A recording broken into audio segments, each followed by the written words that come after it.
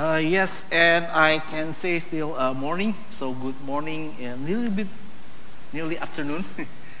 and uh, yes, my name is Riza. I'm a Microsoft Technical Evangelist for Microsoft. I'm going to talk about PHP Bolt. Okay, maybe some of you already think that, okay, if there is a ball, it must be something which is a ball. Let me tell about myself a little bit. I want to share uh, so you know uh, my background just a little bit. I'm a Microsoft uh, technical evangelist, a developer evangelist. So, what is evangelist? The job is to share the latest technology from Microsoft. Uh, but Microsoft now goes to open source, a lot of open source thing. So, uh, the required of evangelism also include the open source stuff. And I'm happy because my background is actually open source as well. Uh, short history, I learned programming since 1982. And then my first uh, computer is uh, Sinclair Spectrum, if you know that ZX Spectrum. And then later I go to uh, Commodore 64 and then I go to PC. My first programming language is assembly because I thought that is the computer language. So it was a machine code. Seriously, I learned the wrong thing. I learned the machine code first, and then I realized there's another language which is more easier than, yeah. I remember that uh, I, I managed to memorize, I think it's more than 50 mnemonics byte, all in. So I remember, so because otherwise I have to look at the table what is for this, what is for load register for this. And then suddenly, wow, I managed to make a small game using Sinclair Spectrum, using machine code, and I'm headache. uh, and then, yeah, that's, and then finally I found there's a basic easier.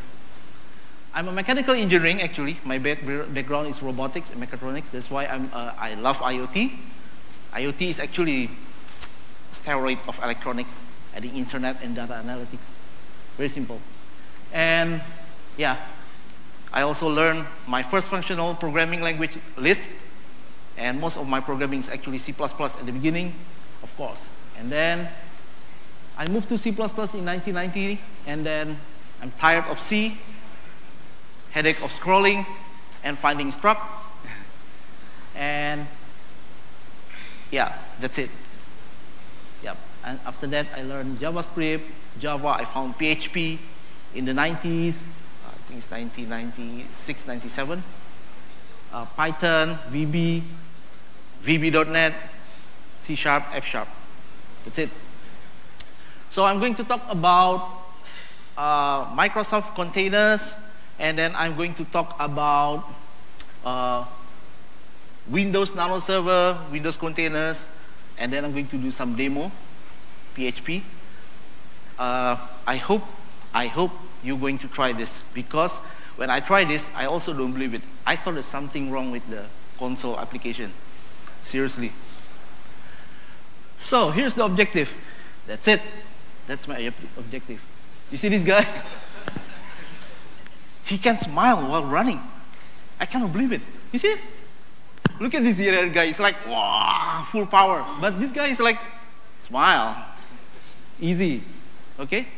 So, as an evangelist, I try also want to try the latest PHP 7.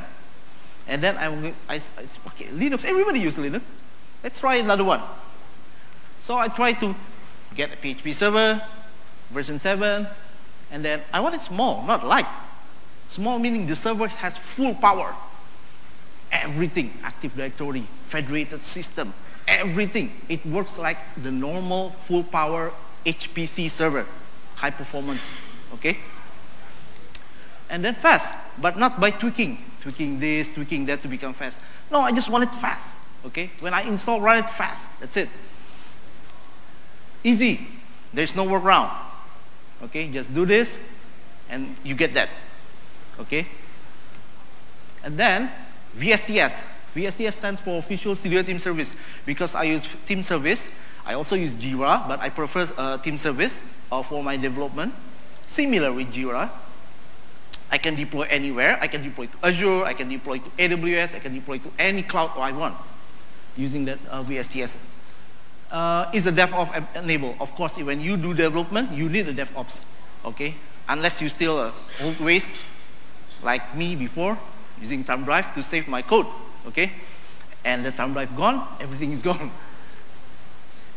And of course, on laptop, and if I want to move to Azure, just want to click, move to Azure, everything done. So I don't have to do anything. And I can also work with Azure Serverless. I'm not going to talk about this because it should be another 30 minutes, which is using the Logic apps and uh, Azure functions. This is the one of the most powerful in Azure, which is the serverless uh, technology. Uh, remember, serverless does not mean there is no server. the server meaning that your app does not dependent on a certain server. That is the meaning of serverless. And watching TV, you see this? He's watching TV while this one is trying to run. Okay? This is Bolt. That's why, that's why I'm thinking, okay, I'm going to name it PHP Bolt because this is what I want. Exactly what I want. I still go, look at that. He's watching TV. Can you imagine that? You're running in Olympic, you look, he got gold for that. Okay, running. I saw the, the thing, he said, like, what the hell? It's very good. And yes, this is what I want. I managed to run it. Okay. Windows NT Nano PHP. Okay. Yes, and this is, it works in Windows Nano Server. I, I'm going to share with you what is in Windows Nano Server. And look at this. No, that is not typo. I thought it was something wrong with the reporting in the Hyper-V. It was 256 megabyte only to run PHP server. Windows Nano Server, the spec, I, I checked the spec, is exactly like the full power of Windows Server. There is no limitation. Exactly the same. Actually, it's part of Windows Server 2016, the latest server. But look at the size. That is what I want. And then, look at this. No, this is not crazy number. Look at that.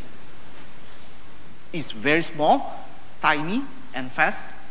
And Yet I'm just using a normal PHP bit that I download from the PHP. There's no PHP for Microsoft, no. Just the normal PHP I download and I install and it runs like that. That's what I want. That's why I call it Bolt. Okay, so how to do that? Very simple. Use Microsoft containers. It's part Windows, Windows Nano Server is a server. It's a normal server, but it was designed uh, some say it was born in the cloud. Okay, so it was. It has been used in Azure for a long time, for several, yeah. So uh, everything, if you know that, is uh, one third of server in Azure is running Linux. Okay, but everything, the entire infrastructure in Azure is everything running is under Windows Server. Okay, so all Linux, everything is running under Windows Server and they use this technology. Windows Nano Server is one of them. So the container ecosystem that we know right now is the container runtime, which is Windows Server and Linux. Some of you, if you use Docker, you might only know that's only Linux Docker, isn't it? No, there is Windows Docker as well. And this is the container image, which is the same, similar and then there's image repository. So if you go to the hub.docker.com, okay, and you search for Microsoft, everything is for Windows containers. But you manage exactly with Docker, exactly the same, the command line, everything, because it's just a Docker management. So uh, in physical system, physical machine, this is what you have. This is your own server, and then you install your, uh, as a physical host, you install your operating system, and then you install your PHP, isn't it? Right? That's normal people doing development in laptop. Something wrong with the laptop, everything gone. Okay? and you put the image in here. Next one is uh, you use virtual machine. Okay, I use Hyper-V.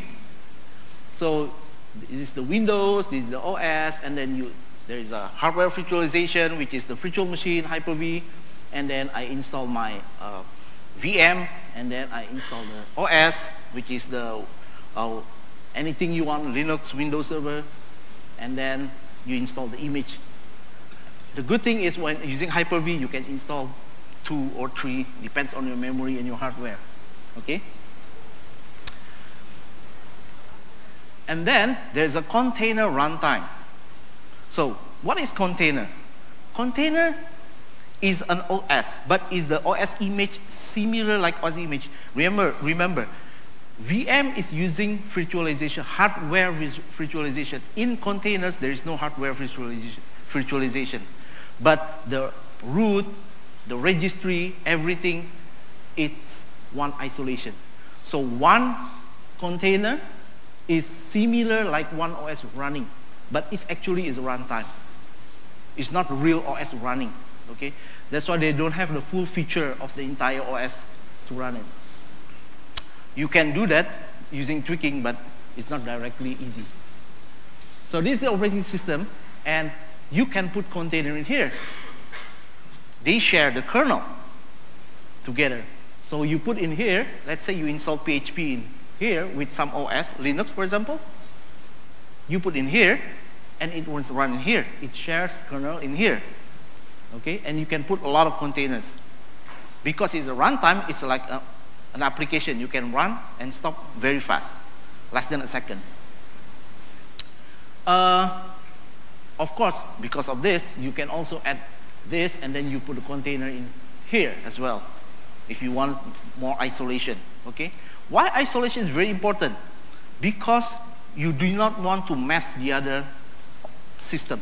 You don't want, for example, you have one in here, MySQL Server, this one PHP, and this one JavaScript Node, for example you don't want to mess up. So you, you want to do like this and then they just work around together. Okay? So Windows Nano uh, Server, the containers, and the Hyper-V uh, for Microsoft. The container offer is a fast iteration, resource control, rapid development, uh, define, a defined state separ- separation. This is the one that I said to you because it's isolate, so it's separate, and immutable. It's like functional programming. Meaning what? Yeah, you know, as a developer, sometimes you hate yourself because you're doing a lot of errors. So when you do, delete everything. That's what I did. But if you cannot do, don't do that in your laptop, you're done. Okay. But in here, go ahead. In container, delete, no problem. You can delete the entire OS inside. After that, you close, run it again. That's it. Everything back to normal, like nothing happened. Okay? That is the meaning of immutable. And then for what? What is it for? It's for this. Distributing, distribute, compute. What is that? Microservice. Nobody wants to now set up a server data center, everything. They go to Sim Lim Square and then, you know, everything. Nobody wants to do that now. So they set up a microservice, do something, and you just imagine you have a thousand of PHP code running inside a microservice, and each of them has no dependency. You can just fix this one, something wrong, without having to touch the other one.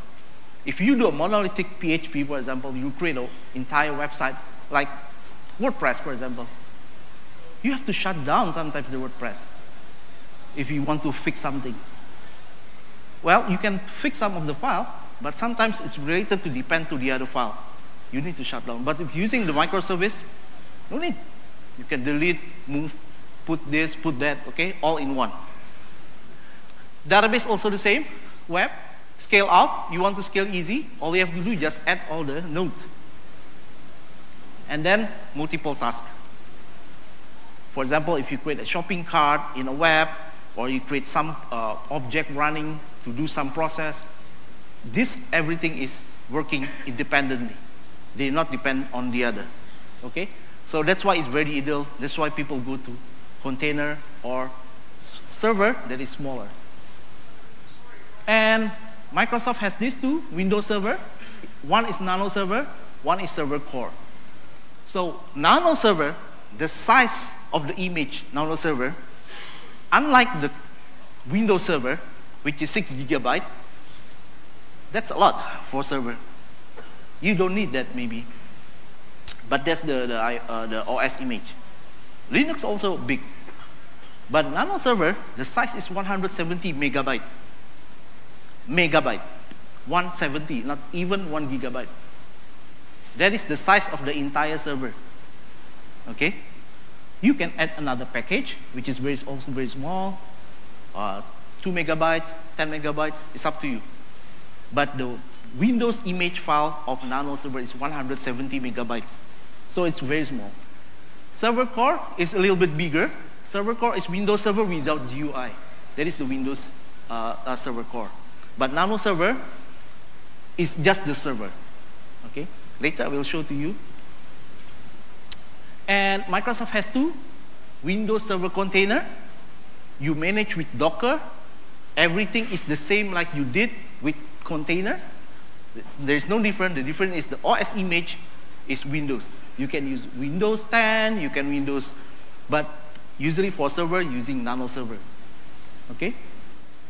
But I find out that some company, by compliance, is not allowing to do that. Okay, I'm going to share with you.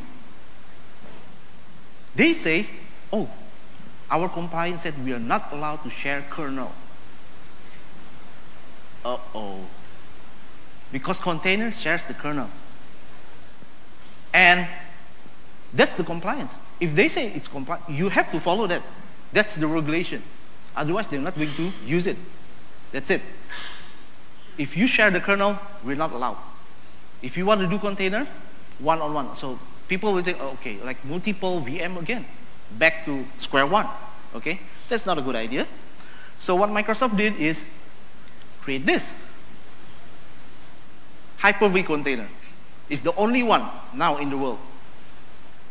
A virtual machine, hardware virtualization container, which is isolate, even the kernel. They are not shared with the host kernel. Okay? So this is very good for a company like, for example, like banks, anything that required compliance regulation that not allowed to share kernel. You use Hyper-V container. It's a container, but it's Hyper-V container. They call it Hyper-V container. Uh, this one will be released somewhere soon. I think October, this October. Okay? Has not been released, but it's already in the demo. This one is already available. So, yeah, I'm just going to open everything. Yeah. So here's the Windows container, and this is the image, and then you can manage with Docker and other. You know there's PowerShell now is available in Linux. You want to know what, what is it for? Some people, what is it for? Nobody use PowerShell. Oh yeah? Now they have to use, they have to, if you use Windows container, and you use Windows Nano Server, they have to. You can manage from Linux or your Mac OS. Now you can do it, okay? See? Everything is now connected. Before also, I also don't understand why we have to have PowerShell in Linux. Yeah. Apparently, this is what it's for, okay? Uh, some of my friends using Mac and they manage the Windows Nano Server through Mac. Easy, okay? So uh, deploying is very easy. So this is the Hyper-V. You can put this in your physical machine. You can put side by side like this, okay? You can put Hyper-V container. Inside you put PHP server, okay? You can also put Windows container, MySQL, for example, which is smaller one, okay? And then uh, this one too requires hypervisor, and this one is not. You can run uh, on top of it. Uh, and you can also do like this, okay? Separate. So it's, uh, it's up to you. So this is for your development, for example. You want to test the isolation like you really do it in the data center or in the cloud. You can do this kind of scenario. It's like orchestration, okay? And yeah, yeah, finally. This is my last bit. I'm just going to do hyper.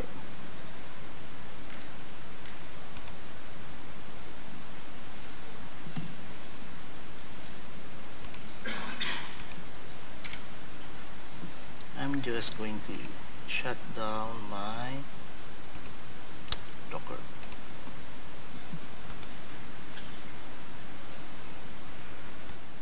So in here, I create three. One is nano Docker. Nano Docker meaning that uh, nano, and then I put Windows container inside, and then I can manage container, and then manage using Docker. Docker, images, ps, dash a, commit, do whatever you want. Is Docker command, okay? And then I create a nano PHP, Windows container running PHP inside, and the other one is nano WordPress. So the nano WordPress is a, a WordPress running inside Windows Nano Server. I'm not going to demo all, no time.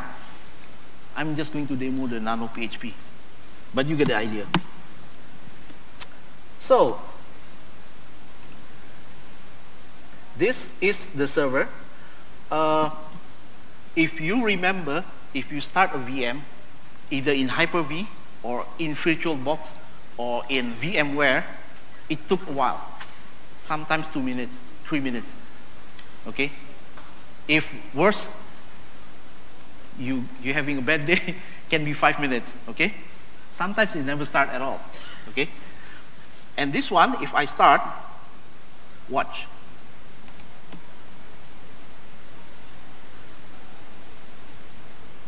That's it. That's your Windows Nano server. The booting speed is like that. No, I'm not lying. Really. You want to start? Let's try. Let's, let's connect. Okay, I'm just going to connect. I'm going to stop, turn off. Okay, I'm going to start again. Ready? Don't blink. That's it. Yep. That's how you boot Windows Nano Server. Okay? You just compare that Windows Server or Linux. This is the speed. And you can restart your server with that speed. Okay? That's number one. Let's see what's inside.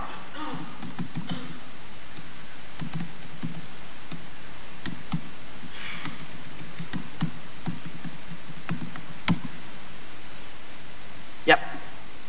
Inside is only like this. Nothing much. I can see everything. I can manage the firewall, okay? Because it's a real server. It's a real Windows server. It's like we install Windows Server 2016 or 2012, and then you manage. This is what you see, okay? And then, this is the same. You can also do, do remoting, for example. Okay? And after that, this one you can just close because you, you're not going to see anything in here. But look at the size. Lovely, okay? Now let's go inside there. I'm going to go to the server. I'm going to use PowerShell. Okay? So if you don't know PowerShell, it's okay. Unless you want to manage Windows Nano Server, then you need a little bit to work. It's very easy. Lah. For example, the IP, I want to know the IP. Let me check the IP. Because I did not use my uh, Wi-Fi here, so the IP changes. What is the IP now?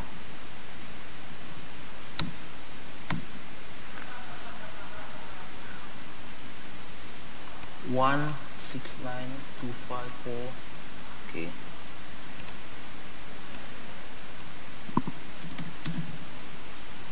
169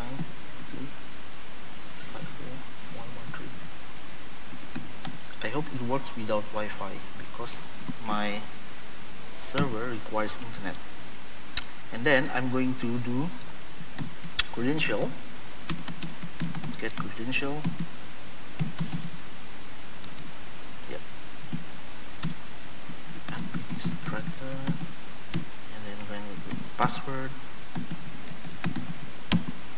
and then I'm going to password create a session. Of course, this one you can do like uh, uh, create the, not like this. This one is just want to show how you uh, can create this manually.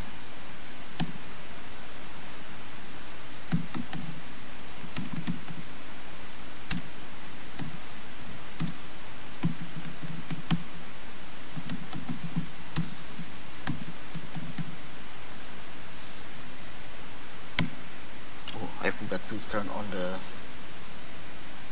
set button.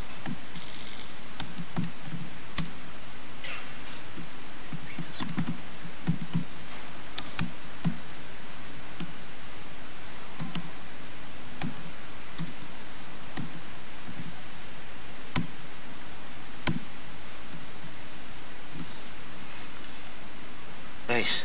Sorry. Yeah, yeah.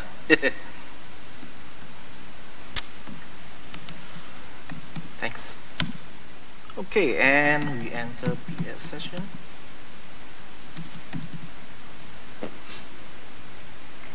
I think I need Wi-Fi.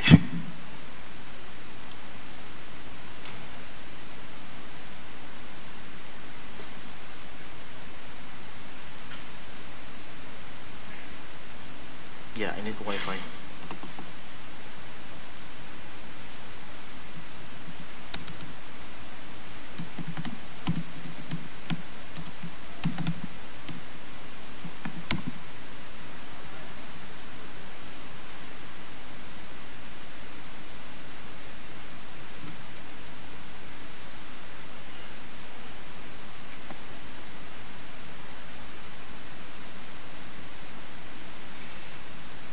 We have Wi-Fi? We have Wi-Fi?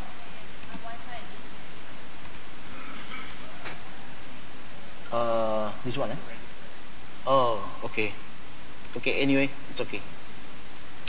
Anyway, it's actually, so when you run, you can get the process. Uh, what I'm going to show to you is actually already inside. Let me show you that.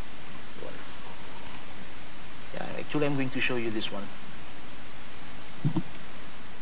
and then I'm going to show you the uh, yeah, this process. Okay? And then uh, once it's running what I'm uh, going to do is to run the PHP what is the IP just now? Let's run this. It's already run.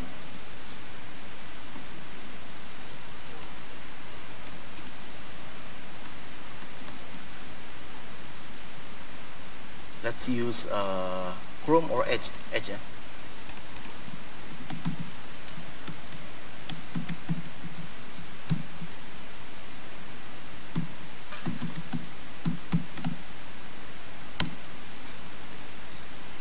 Yeah, I need Wi-Fi because I set up the VM uh, hardware virtualization, virtual, uh, not hardware virtualization the Hyper-V virtualization require Wi-Fi anyway, here's the website.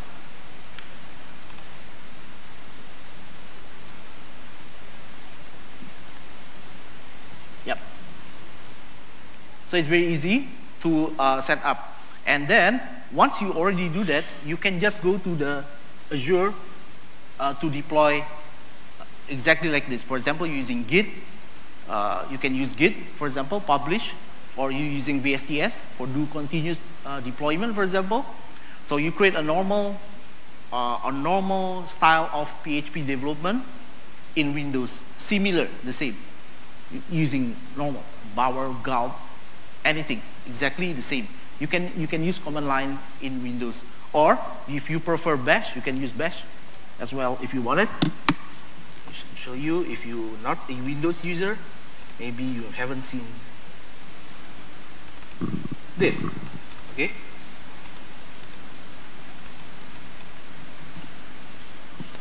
okay so this is uh, just a normal uh, sorry it's, it's just a normal uh, Linux running on Windows okay so this one is not like the Win uh, uh, Cygwin it's not like that so this is a real Ubuntu. running in Windows. Ubuntu running on Windows, okay?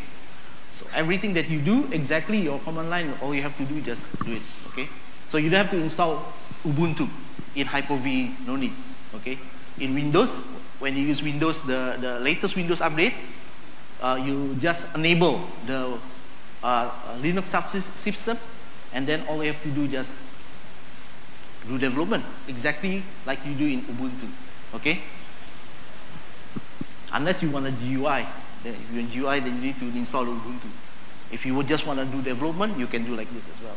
So everything is available in here, NPM, everything all available as well, okay? So uh, that is the meaning of uh, Bolt to me.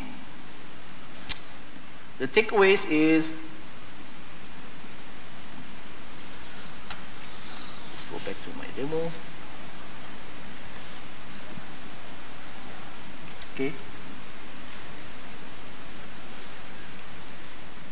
So the right tool for you is, for example, the Microsoft Cloud, Azure, on-premise, on our uh, service uh, provider. So you don't have to, because you, don't, you cannot put everything in the cloud. That's what I learned. You cannot put everything in the cloud. Some of them has regulations, some of them is not allowed to do that, some of, a lot of things. Some of them, they don't believe in the, they trust in the internet, everything, just a lot of things. So yeah, you can put it on premise up of your secure you think is secure data, go ahead and put, and then you can put in service provider. And then you can use the two container technology, Windows Server and Linux, okay? So you don't have to install your PHP in your laptop anymore, no need, okay? Well, unless you have no choice, okay? But for me, Windows Nano Server is very small, and then you can, you, you just see that actually, actually you can run the server without having to install in your laptop. I don't have PHP in my laptop, but I install everything is on Hyper-V or Windows uh, container. Okay? And then you can manage using PowerShell, Docker, or others. Okay? Uh, you can use Bash, Linux, for example, to manage, but you only manage for Linux Docker. For Windows container, you need to manage using PowerShell. And development tools, you can use Visual Studio Code or Visual Studio, Eclipse, anything. Sublime, okay, it's up to you. And then the right tools for you is uh, development, framework, language. You can use anything, choose anything you want. And then once you master the container, you really want to go to this side. Okay, service fabric. What is service fabric? It's a microservice. Okay, everything is moving there. If you still stuck in monolithic now in laptop, I want to disrupt your ideas now. I want to disrupt your mind. Stop it. Move to microservice. Serverless. Okay? Because this is the way. If you go to all companies, they want it. Okay? They want it like that. They say they don't want this dependent on this. They don't want it anymore. They just want to fix this and the other still running. Okay? So most, for example, if you use the, the Microsoft technology, if you use in Azure, you can update your website while the website is still running and it's not going to change everything. You don't need, there's no shutdown if you're using microservice. And then virtual machine, Windows Server Linux, and then the container technology. So this is the tools for you for development, uh, especially for PHP, okay? And then, of course, you can deploy this everything to the cloud in just a simple click, click, click, click, click, and go to the cloud. Anything that you de uh, develop in your local, one click, using VSTS and GitHub, everything goes to the cloud. Okay? And Git, not GitHub, sorry, Git. And thank you. That's all I have for uh, today. And I hope you will try the Windows Nano Server uh, to make your PHP development tools. Thank you very much. All right, thank you, Riza. Unfortunately, with the shortage of time, we have to leave the questions for Riza till lunchtime. Um, we'll introduce our next speaker. He's Harold Zaytov.